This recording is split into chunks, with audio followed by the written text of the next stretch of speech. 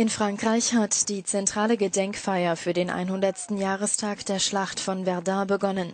Die deutsche Bundeskanzlerin Angela Merkel und der französische Präsident François Hollande wollen mit ihrem gemeinsamen Auftreten ein neues Zeichen der Aussöhnung und Freundschaft beider Länder setzen, wie die Bundesregierung mitteilte.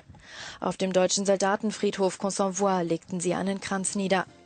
Bei Verdun im Nordosten Frankreichs hatten sich deutsche und französische Truppen im Ersten Weltkrieg über mehrere Monate blutige Kämpfe geliefert. Mehrere hunderttausend Soldaten beider Länder kamen ums Leben. Euronews berichtet im Laufe des Tages live vom Gedenktag in Verdun.